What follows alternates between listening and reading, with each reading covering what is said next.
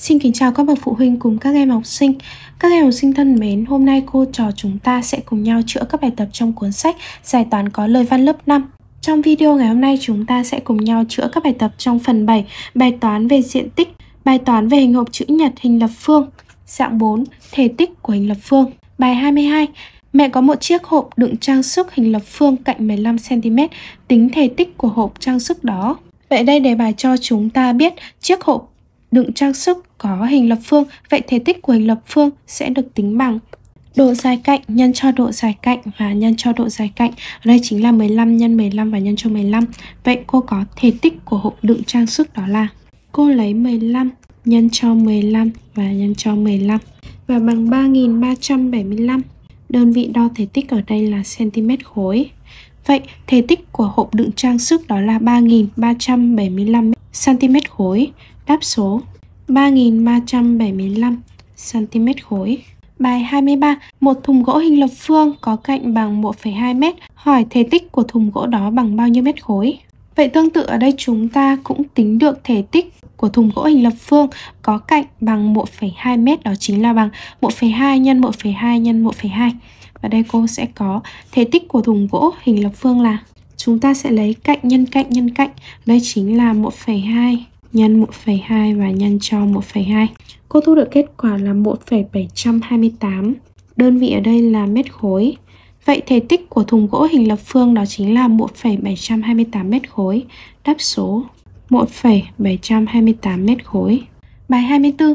Một bể cá hình lập phương có cạnh 0,9 mét, thể tích nước chiếm 2 phần 3 thể tích bể. Hỏi trong bể chứa bao nhiêu lít nước? Về đây, để biết trong bể chứa bao nhiêu lít nước, chúng ta sẽ đi tìm 2 phần 3 thể tích của bể là bao nhiêu? Bởi vì ở đây đề bài cho chúng ta thể tích nước chiếm 2 phần 3 thể tích của bể. Và để tính được 2 phần 3 thể tích bể, chúng ta cần phải tìm được thể tích của bể là bao nhiêu. Vậy trước tiên cô sẽ đi tìm thể tích của bể cá là Thể tích của bể cá hình lập phương là Ở đây chúng ta có bể cá hình lập phương cạnh là 0,9 m.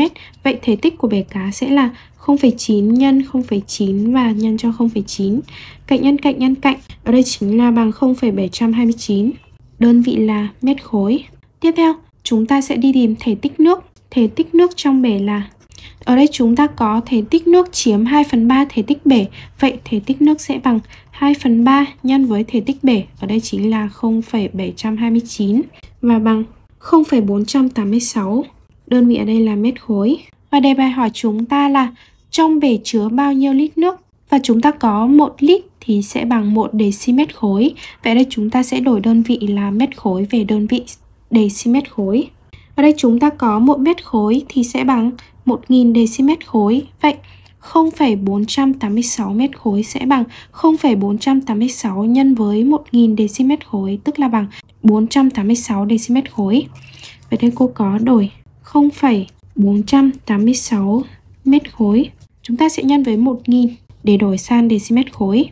Đây sẽ bằng 486 decimet khối hay đó chính là bằng 486 lít. Vậy trong bể chứa 486 lít nước, đáp số 486 lít nước. Bài 25. Một hình lập phương có diện tích một mặt là 9 decimet vuông, hỏi thể tích của hình lập phương đó bằng bao nhiêu cm khối? Về đây để tìm được thể tích của hình lập phương thì chúng ta cần phải biết độ dài cạnh của nó là bao nhiêu. Đề bài cho diện tích một mặt là 9 decimet vuông. Vậy đây chúng ta thấy 3 x 3 bằng 9 decimet vuông. Vậy 3 x 3 bằng 9. Vậy độ dài cạnh của hình lập phương đó chính là bằng 3. Ở đây ta có 3 x 3 bằng 9. Vậy độ dài cạnh của hình lập phương đó chính là 3 decimet. Vậy ở đây đề bài hỏi chúng ta là thể tích của hình lập phương bằng bao nhiêu cm khối. Vậy cô sẽ đổi 3 dm sang đơn vị là cm, đổi 3 dm về đơn vị là cm. 1 dm sẽ bằng 10 cm. Vậy 3 dm sẽ bằng 3 x 10 hay đó chính là 30 cm. Vậy thể tích của hình lập phương đó là Ở đây chúng ta sẽ lấy độ dài cạnh nhân cạnh và nhân cho cạnh. Ở đây là 30 nhân 30 và nhân cho 30. Cô thu được kết quả là 27.000 cm khối. Vậy thể tích của hình lập phương đó chính là 27.000 cm khối. Đáp số 27.000 cm khối. Bài 26, một khối sắt hình lập phương có diện tích toàn phần bằng 150 dm vuông, biết mỗi mét khối sắt nặng 780 yến, hỏi khối sắt đó nặng bao nhiêu tấn? Ở đây chúng ta thấy mỗi mét khối sắt nặng 780 yến và đề bài hỏi chúng ta là khối sắt đó nặng bao nhiêu tấn? Vậy cân nặng của khối sắt đó, cân nặng của khối sắt sẽ bằng cân nặng của một mét khối nhân cho thể tích của khối sắt. Vậy ở đây đề bài đã cho chúng ta biết là mỗi mét khối nặng 780 yến. Ở đây chúng ta có 780 yến.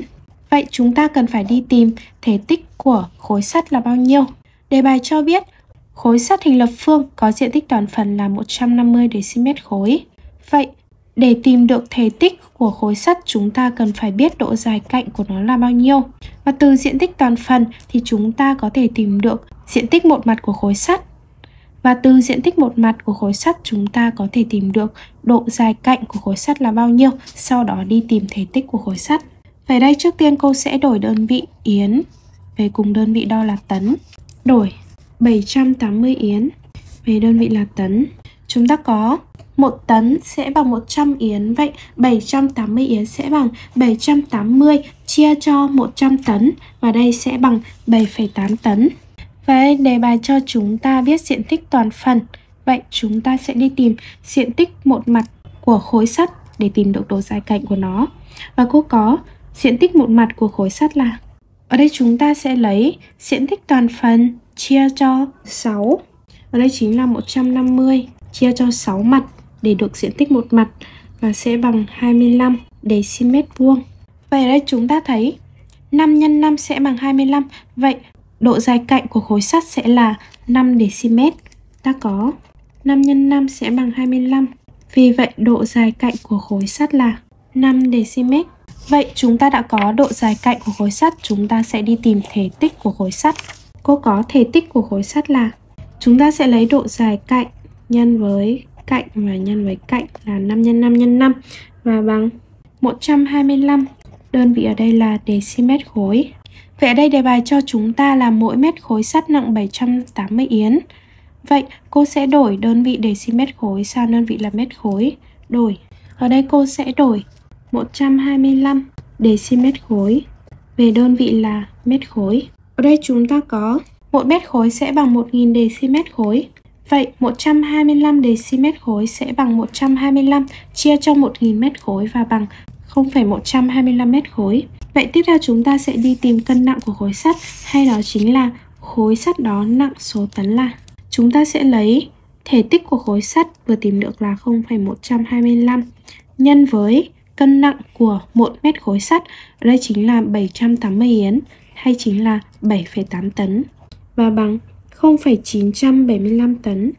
Vậy khối sắt đó nặng 0,975 tấn.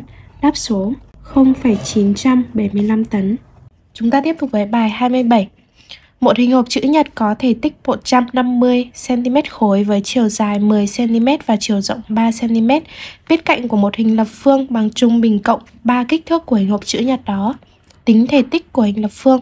Vậy đây đề bài yêu cầu chúng ta tính thể tích của hình lập phương.